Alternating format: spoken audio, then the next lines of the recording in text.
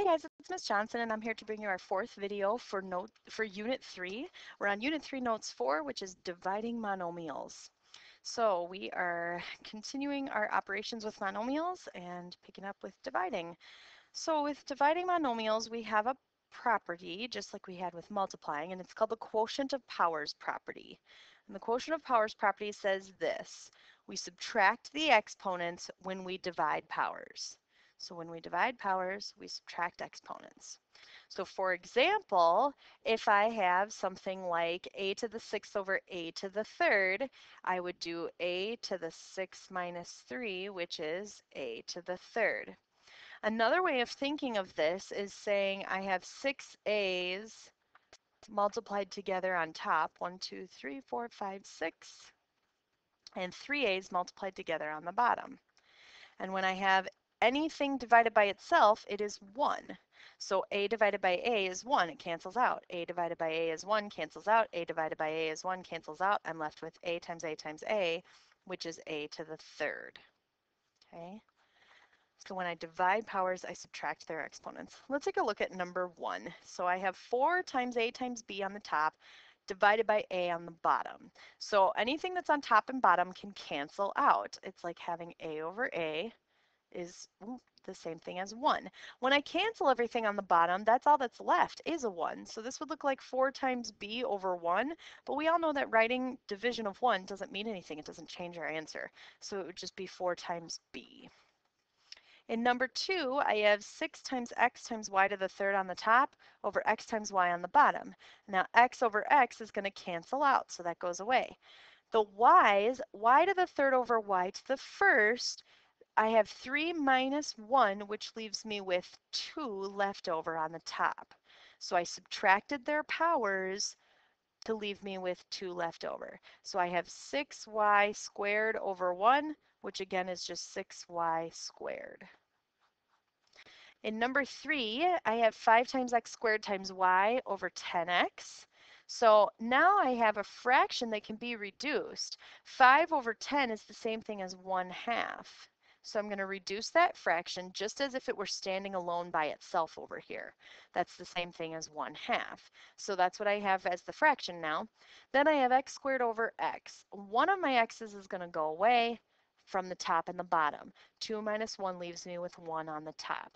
So, and the y has nothing on the bottom to cancel with. So I'm left with 1xy on the top over 2 on the bottom, which is the same thing as just x times y over 2. We don't need to write that 1 in front. Um, in number 4, I can reduce 4 fourteenths. That's going to be 2 over 7. And then 3 a's on top and 4 on the bottom. Now 4 minus 3 is 1, but since there, I started with more on the bottom, that's where my 1 left over is going to be. So really it's like I'm canceling the 3 on the top and leaving 1 left over on the bottom. Then I have five b's on top and two on the bottom. So these two are going to go away and five minus two is three. So my 2 is the coefficient out front. Then I have b to the third, that's the numerator. Um, in the denominator, I have 7 as the coefficient out front, and then a left over. And that is my simplified quotient. So then let's just talk about some properties of simplified monomials because we've put a lot of rules into place now and we need to make sure that we are checking that we've simplified the whole way. Um, one thing that we need to make sure of is that each base appears only once, exactly once. So I should see each A only one time, each X only one time, and all of that. Um, I should also see no power of powers, or in other words, no parentheses. Okay, that means I should have taken care of my parentheses if you can you can put a little red circle around that. No parentheses, take care of those. Um, and then the last one is that all fractions are in simplest form. Those are like the coefficients out front. All fractions have to be in simplest form. So let's take a look at the back. So now we're going to put a bunch of these rules together. So in number five, I have 5 over 15 times on the top, 5 times x to the third, y to the fourth, bottom 15 times x squared times y. So the 5 over 15, that can reduce down to 1 third. The x to the third over x squared, I have three x's on top, 2 on the bottom. 3 minus 2 is 1. there's more on top, so I'm going to have the 1 left over up on the top. Then the y's, I have y to the fourth on top over y to the first on the bottom. 4 minus 1 is 3. So I'm going to have 3 left over. And since I started with more on the top, that means the 3 go up there. So now on the top I have x times y to the third over 3. That's all that I have on the bottom. And that's it. My fraction is reduced. I see an x only one time. I see a y only one time. I see no parentheses, so I'm good. Let's talk about number six. I have 27 over 54, and then I have x squared over x squared. Now, 27 over 54, 27 is half of 54, so that's like saying 1 over 2, or 1 half. And then x squared over x squared, two x's on top, two x's on the bottom, they're both going to cancel in both places. So those go away, and I'm left with just 1 half. That's it.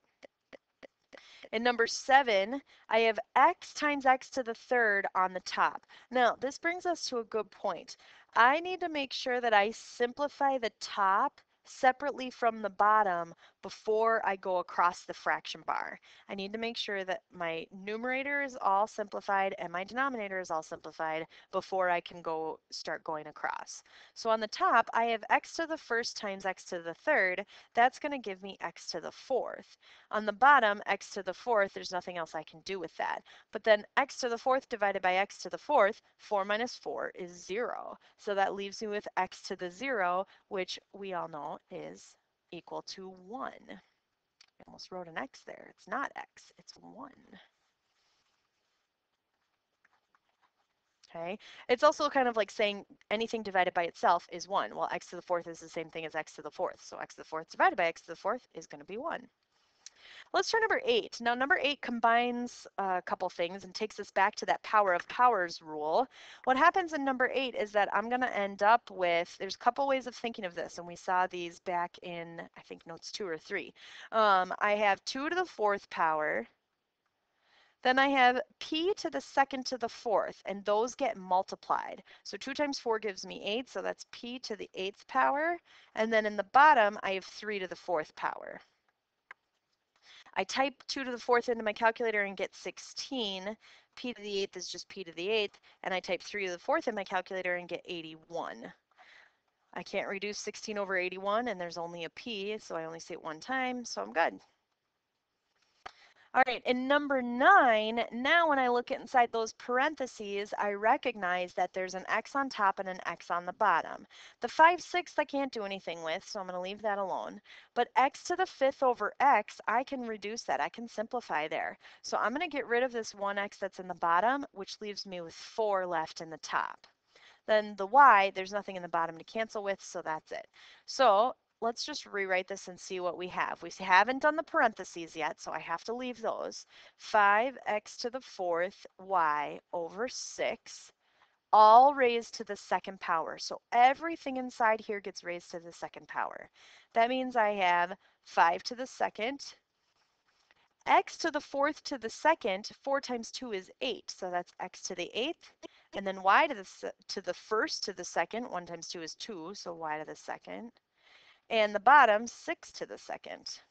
So then typing 5 squared into my calculator, or most of us just know that off the top of our head, 5 squared is 25, x to the 8th, y squared, and on the bottom 6 squared is 36. I can't reduce 25 over 36. I see x one time, y one time, so I'm good. And then in number 10, I have um, all that stuff on the inside raised to the third power. Again, I'm going to simplify the inside first. If that's a note that you need to make to make right here for both numbers 9 and 10, simplify the inside first. The less you have to raise to that third power, the easier, the better off you are. So simplify the inside first okay? So what I recognize on the inside is that I have a to the fifth over a, so that's going to leave me with four a's up on the top. Then I have b to the eighth over b to the third. 8 minus 3 is 5. I have more on the top, so these go away, and I have b to the fifth on the top. So let's rewrite that and see what it looks like. That looks like a to the fourth, b to the fifth, all over 2 raised to the third power. Now I need to actually do the power. So a to the fourth to the third, 4 times 3 is 12. So that's a to the 12th. Then b to the fifth to the, to the third, 5 times 3 is 15, so b to the 15th. And then 2 to the third, when I type that into my calculator, I get 8. So a to the 12th, b to the 15th, and 2 to the third is 8. All right, one last question, a word problem here that we're going to look at. Um, you're going to want to go ahead and draw this picture on your notes. It's not actually on there. So um, go ahead and make that square with the circle turned inside. Um, that's the exact same width as the square. And then your radius here is t. So then let's look at that question. It says write the ratio of the area of the circle to the area of the square in simplest form. So ratio means I'm going to be dividing area of the circle, that's pi r squared, to area of the square, that's length times width, in simplest form. So what I'm looking for here is pi r squared divided by length times width. Well, now let's look at what our radius actually is. Our radius is actually t. Okay, so then what that means is on the top, I have pi times t squared. On the bottom, the length of my square, since my circle is exactly inside my square, and the radius is half the circle, that means this half of the circle is also t. So that means my length is 2 times t. So length is 2 times t, but I also know the width is 2 times t width is 2 times t as well. So on the bottom, I have 2t times 2t. Okay, so let's look at what that does. Now I have pi times t squared on the top. I can't do anything with that yet. On the bottom, I have 2t times 2t. This is the same thing as 4t squared. And then when I reduce that ratio, t squared over t squared goes away, and I'm left with just pi over 4. So that is the ratio of the area of the square to the area of the circle, given that the circle is inscribed inside the square. So it's just a little geometry lesson for you. Um, that's going to take us to the end of our notes video for today. It's a short one, so that's kind of nice. Um, don't forget to check your note sheet off with Miss Johnson and pick up your practice, and I will see you later. Thanks for listening.